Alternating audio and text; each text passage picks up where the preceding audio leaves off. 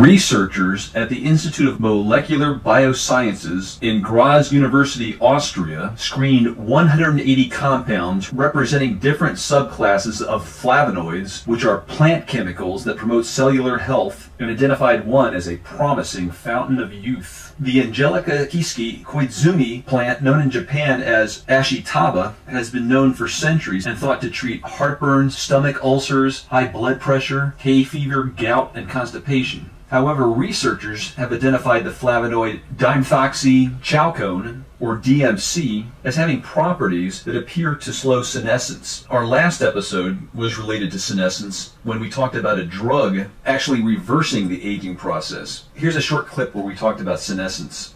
Human cells are always being damaged through normal metabolism. When cells die but stay in your body and are not metabolized, they are called senescent, and they can go through processes that damage nearby cells. Accumulation of these cells is linked to aging symptoms, which can lead to mental and physical frailty. These senescent cells are also known as zombie cells. They're not completely dead, but take up space and are not repairing tissue or carrying out normal functions. They are a drain on your system, and your body gradually deteriorates. So far, there have been no human tests on DMC. However, when scientists fed worms and fruit flies the compound, it appeared to boost their lifespan by 20%. There seems to be a consensus in the medical community that different types of fasting will slow down the aging process. There are also promising drugs on the horizon, as well as compounds like DMC. Right now, you can get DMC through Ashitaba. Ashitaba is legal and available as plants, powder, pills, and tea.